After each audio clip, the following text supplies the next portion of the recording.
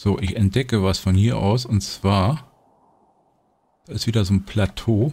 Ja, nee, äh, das muss ich nochmal sagen für die Zuschauer. Da oben, da oben ist er.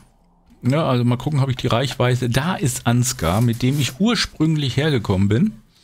Und er mir den geheimen äh, Zugang zu diesem Belia-Tempel gezeigt hat. Da musst du tatsächlich da als Blutfliege runter und dann kommst du von da sozusagen hier oben rein.